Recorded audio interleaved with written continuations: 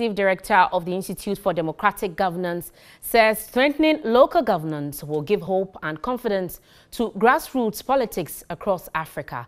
Dr. Emmanuel Akwetey, who was speaking at a conference by West African Network for Peace Building, noted institutions mandated to run elections must be strengthened to engender public trust.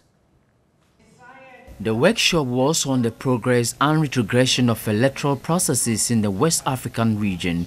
This year marks 29 years of the transition from military regimes across Africa to constitutional rule. Currently, there is no single West African country under military regime. Dr. Emmanuel Akwetey noted challenges in electoral processes in Africa are largely aligned with the lack of decentralization. They want to see local self-governance strengthened so that resources and executive power, a bit more would come to them so they determine their priorities. Those who wield power do not want to see power. Power is too centralized in, across all our countries and it's not delivering. Yet the majority of voters live in rural communities their living conditions are not improving significantly, deteriorating actually. And they want to have their leaders and they want their priorities to be considered. He challenged the African Union, ECOWAS and other regional bodies to check the sources of funding for political parties. The very parties who are engaged in our elections, we don't even know how they are financed because the party game has become so expensive.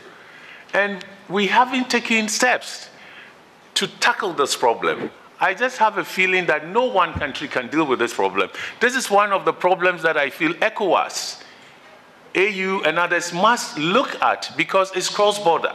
Dr. Akwetey added that strengthening local governance will give hope and confidence to grassroots politics and called for the strengthening of institutions mandated to manage elections. The government must equip the police resource them. Okay, uh, there's the National Election Security Task Force, which is led by the IGP in every election. So you have all the security agencies coming together, including the army under, under his leadership, uh, the IGP. I think he should equip them, give them enough resources.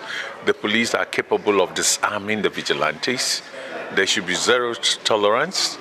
And uh, I mean, too much is at stake. Executive Director of West African Network for Peace Building, WANEP, Dr. Chukwuemeka Eze, says it is time for practical measures to regulate the activities of political parties. Most of our countries have moved out of autocratic regime even when nobody expected them to do so.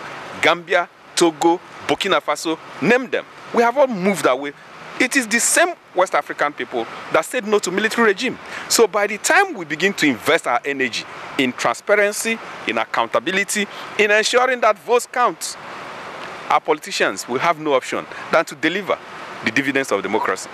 The conference is to equip electioneering stakeholders on how to consolidate the gains achieved from the era of military rule to democratization in electoral management.